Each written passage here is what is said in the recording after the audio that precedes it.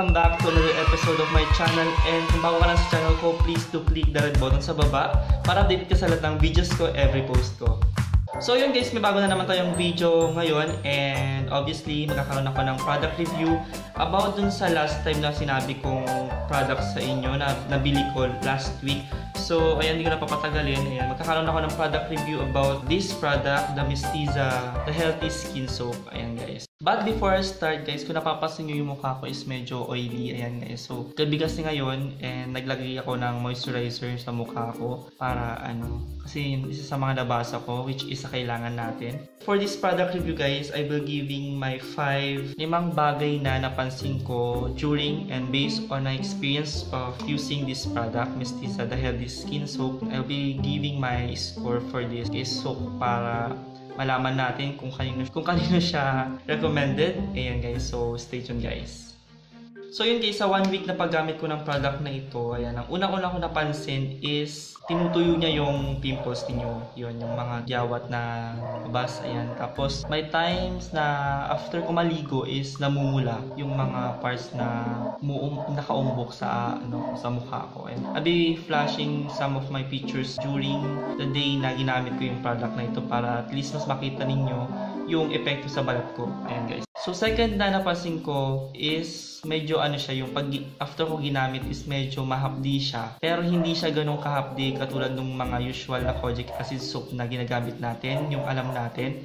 And yun din kasi yung sinasabi sinabi dito sa box na meron daw in case of redness daw, mild stinging and outbreak of the skin may be experienced during first few days of usage daw guys. So if continue daw natin yung paggamit ito is mawawala din naman daw yung side effect na pamumula and yung medyo pang, pa, ano, pag pangangapdi ano, paghapdi ayun, sa mga pimples na meron tayo. Siyempre, one week lang yun. It's a short span ng paggamit. So, yun siguro yung na-experience ko kasi nga, or yung side effect talaga pag ginamit mo to for a few days. And pangatlo is, hindi katulad ng ibang sabon, hindi siya nag-iiwan ng, ng mabawong amoy. Pero hindi naman yung sasabi ko na parang nababaho ka kapag ginamit mo to.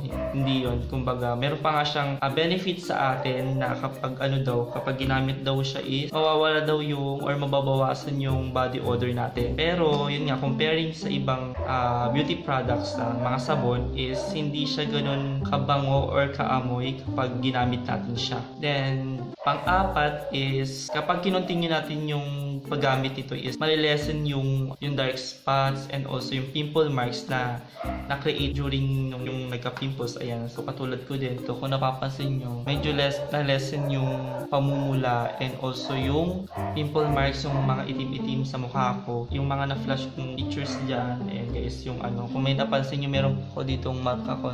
Yung parang may third eye ako dito, pimples dito. Okay guys. So, sa ngayon, for after a week, wala siya guys. Ang meron na lang ako dito is ito, sa gilid. Tapos ito namumula pa.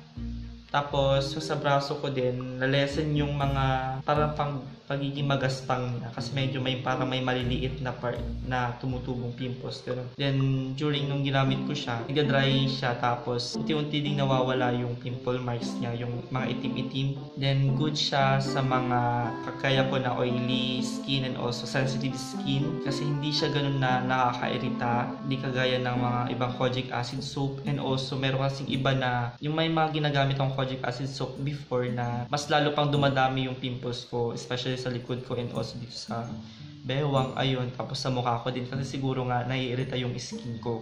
Nung ginamit ko to natuwa naman ako kasi nga ganun yung epekto sa balat ko. Kasi hindi siya, kasi siguro dahil na rin sa natural siya, hindi siya yung sobrang tapang na sabon. Murang-mura lang din naman siya, pero ewan ko lang kung anong price nung mas malaki ito. Pero for sure meron nito eh, mas malaki ito kasi nasa 60 grams lang. So this product naman guys, I will be giving my score 8 over 10. Yan, 8 over 10 kasi maganda nga siya. Ulitin ko, recommended siya sa, sa tulad ko na oily and sensitive skin. Kasi nga, hindi siya makadagdag irritation and matutulungan niyang matuyo and mawala yung mga pimple mark, dark spots sa mukha ninyo, sa balat ninyo. And also, good siya kasi nga, both face and sa, sa katawan ay okay siyang gamitin. Ito kasi sabon na to is madali siyang matunaw, madaling lumambot kapag nabasa siya. Okay naman siya sa balat kasi hindi ganun kagas, hindi siya ganun kagaspang.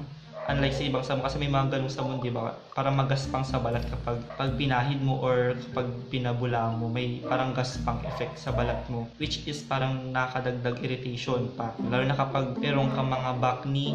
Pero hindi siya ganun kabilis makalesen ng pimples and also dark spots. And yes, pero kung pagtsatsagaan natin, eh, i-continue nga, sabi din sa, sa, sa box niya, is magand magiging maganda naman yung resulta sa balat natin. So, again, recommended po siya for oily and sensitive skin kagaya ko. And kung ang I think available siya sa lahat ng convenience store, mini mini mart and also sa Watson.